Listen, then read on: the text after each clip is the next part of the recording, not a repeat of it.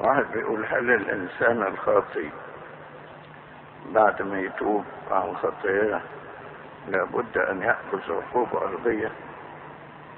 واضح في كتابات قداستكم لا بعض الخطايا ساعات ربنا بيعمل عليها عقوبة لكن مش كل خطية. والمزمور بيقول إن كنت للآثام راصدا يا رب يا رب من يثبت؟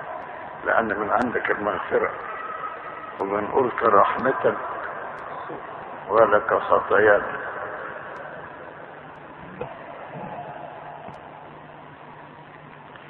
في بعض الأوقات في عقوبة أرضية لكن مش كل خطية.